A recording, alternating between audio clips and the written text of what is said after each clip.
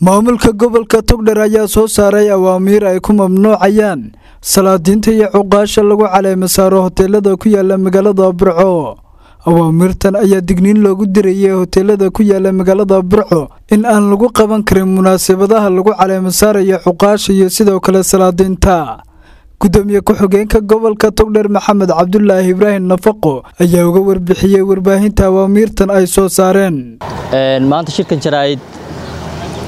wuxuu ku saabsan yahay joojinta ama ogeysiinta hoteelada magaalada burco. In laga joojiyey ama laga mamnuucay caleemasaarka salaadiinta ogaasyada iyo dhammaan madax dhaqameedka cuqaasha jiif caaqilada iyagoo oo maxay hayteen aan u haysan wax sharciya waxaan ugu baaqayaa hodheellada magaalada inay ka digtoonaadaan ama aanu faraynaa inay wax caleemasaar ah oo salaadiina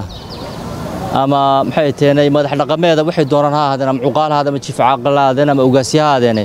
inaan lagu qaban karin lana joojiyey ayaannu faraynaa waraaqahana dhammaan waan u qaybinnay waxaan rajaynayaa inay amarkaa haddii ilaahay idmo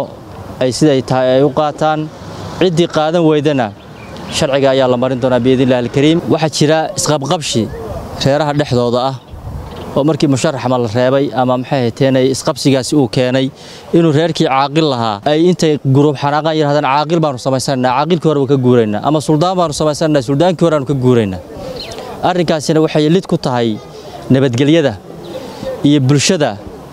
iska horkeen inay bulshada iska hor timaaddo la kala qaybsamo. Taana waxaan uga digaynaa maadaama nabadgelyada aanu annagu mas'uul ka nahay arrinkaasi inuuna dhicin biidnillahi alkariim cabdiqani baafa telefishinka star t v magaalada burco